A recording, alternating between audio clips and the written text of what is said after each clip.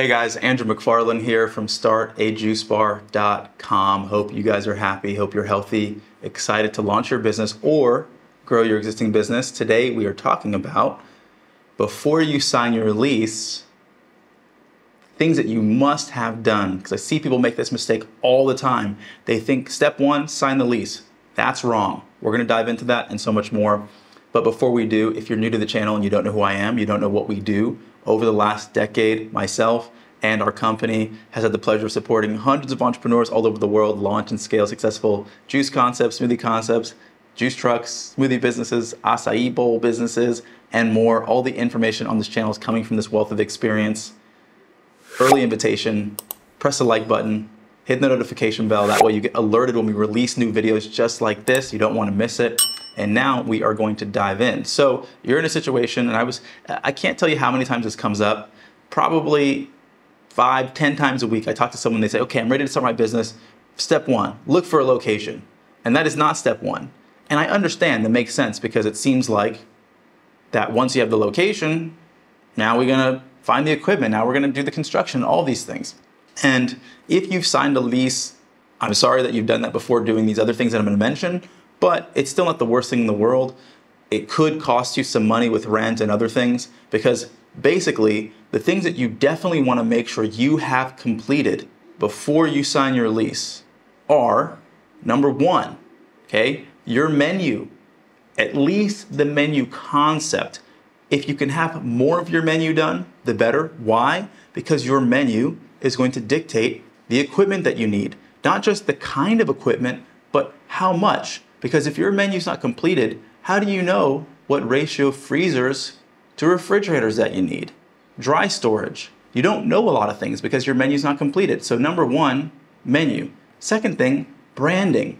Why is branding important? And I don't just mean your logo because that's not your brand. And I'm not going to get too deep into that and get other videos on the channel about branding, also in our course. But the reason branding is important to have done prior to signing your lease is because your brand is going to dictate your company values. Your company values are going to dictate your customer experience. Okay? How much retail space do you have? What kind of experience do you want your customers to have in terms of maybe community space? Do you want to have community tables? Because that's very important to you. If you don't know what your brand is, it's very hard to get into designing a physical space. Okay? That's the second thing.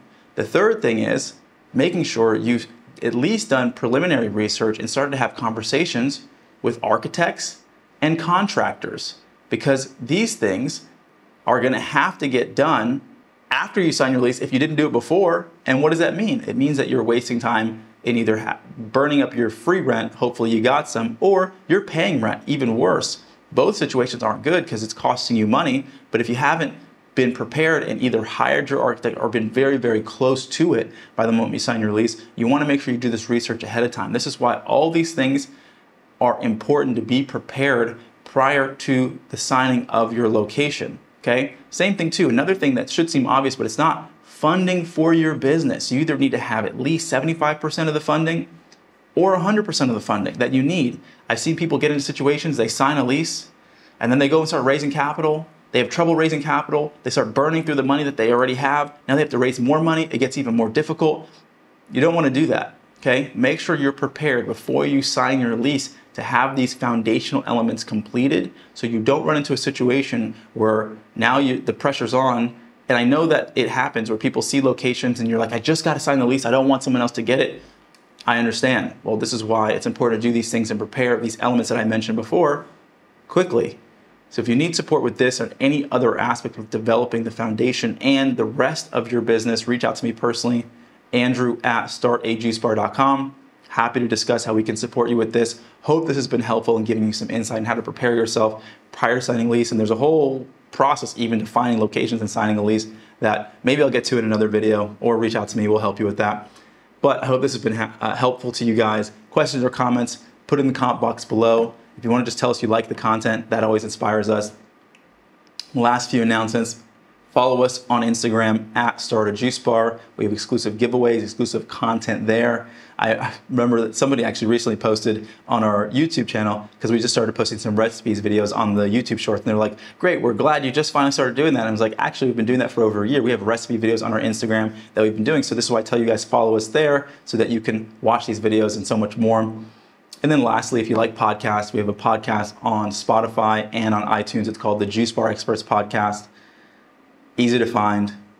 Subscribe, hit the like button, reach out to me if you need help. Hope you guys are happy and healthy. Until next time, see you soon.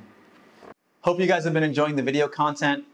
If you are inspired to launch your juice business, but you're not exactly sure what steps to take, for you, we've created a free ebook 15 steps to starting a juice business from scratch. This is going to give you a high level overview of everything you need to do from where you are now all the way to opening your business.